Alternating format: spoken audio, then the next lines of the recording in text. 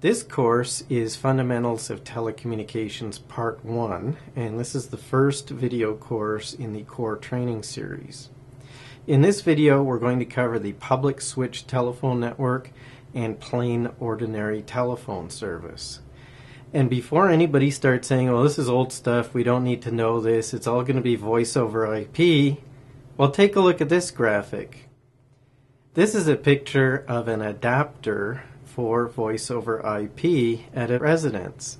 And if we look at the back on the connectors here, well, we've got the power connector.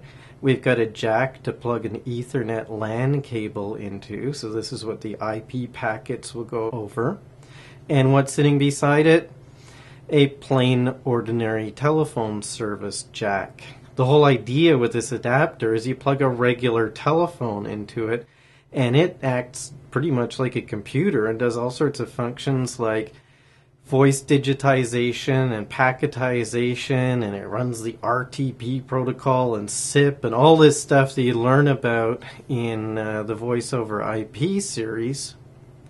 But it's got a POTS jack on it because the last three feet in this story goes to a regular telephone so this discussion of POTS, not only does 99% of the network still run on plain ordinary telephone service, but even if we go to an all voice over IP story, there's still going to be countless POTS telephones plugged into adapters, and so you're going to have to know about POTS. And not only that, the history of telecommunications is all built on top of plain ordinary telephone service. So no matter what you want to understand, POTS is the place to start.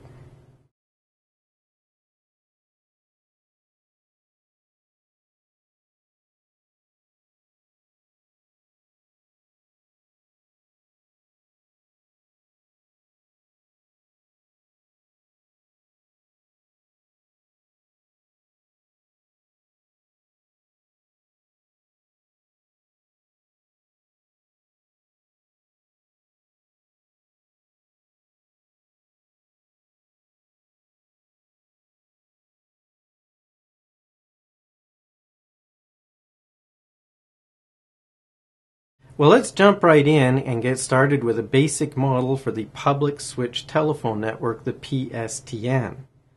If I wanted to draw a picture of the PSTN, I'd probably start with a telephone. Telephones are connected to telephone switches using two copper wires.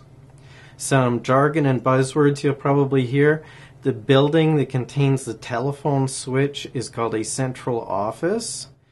And the building that contains the telephone is called a customer premise. So you could call the telephone a piece of customer premise equipment if you really wanted to. When I first started working in this business, I was never really sure about the word premise nor how to spell it.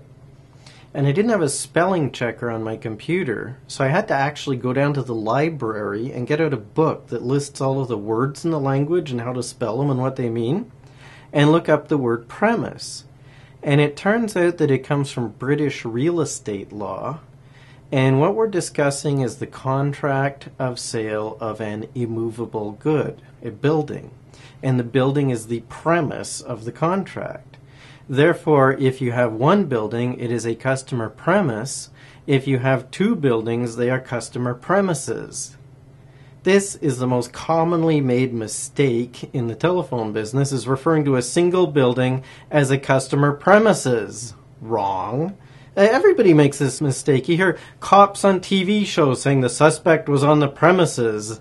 No, the suspect was on the premise. Unless the suspect walked from one building to another, then they were on the premises. It Does me good to get these things off my chest. The two wires that are used to connect the telephone to the telephone switch are called a loop. And you'll also hear it called a subscriber loop or a serving loop or a local loop, but most of the time they're just called a loop. Why do we call them a loop?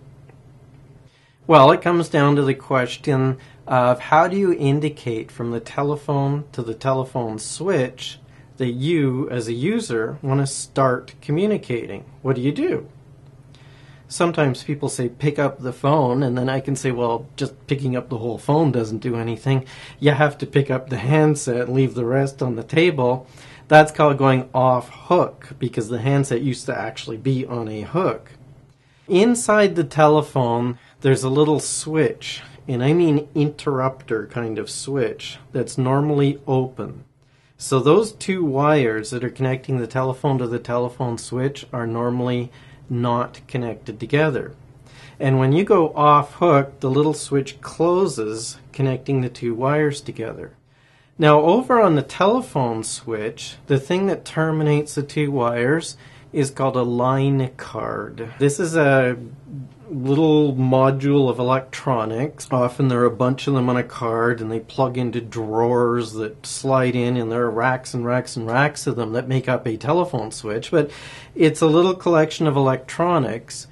And one of the functions of that line card is to put voltage across the two wires. And voltage is like pressure. This is a thing that can force electricity to move around. And for those of you like details, it's minus 48 volts. Now, when you're on hook, the little switch inside your telephone is open. When you go off hook, the switch closes, and at that point, the voltage that the line card is putting across the two wires can then succeed in pushing electricity or electrons around in a circle or in a loop. This is why they're called loops. What we're discussing here is called supervision. Supervision means regardless of to whom you wish to speak, and regardless of what you're going to say to them, how do you indicate to the switch you want to start doing all of this stuff? And this is called loop start signaling. You close the little switch in the telephone, and then current can flow around in a loop on the two wires. Now, over at the line card, they can tell that you closed your little switch to start current flowing around because they've got a relay. And what a relay is, is a switch with an electromagnet. Did you ever fool around in uh, grade school with magnets and pieces of paper and iron filings? And if you wrapped a wire around the magnet and then connected to a battery, the magnet worked a lot better? Well, that's what a relay is. The, the two wires, which are the loop, would actually be wrapped around a magnet. And then there's a switch sitting on top of it. And when the electricity starts flowing through the wires, the magnet would pull the switch closed. So they can tell on the line card that you closed your little switch on the telephone and started electricity flowing around in a loop. That's how you indicate from the telephone to the switch you want to start communicating.